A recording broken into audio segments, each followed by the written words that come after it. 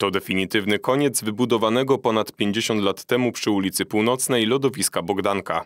Obiekt został zamknięty w listopadzie 2020, a teraz właśnie trwa jego wyburzanie.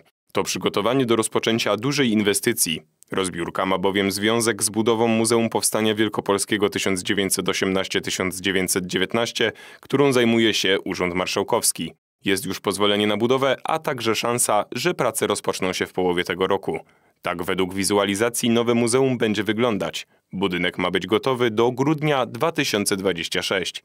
Jakub Szustakowski, Puls Dnia.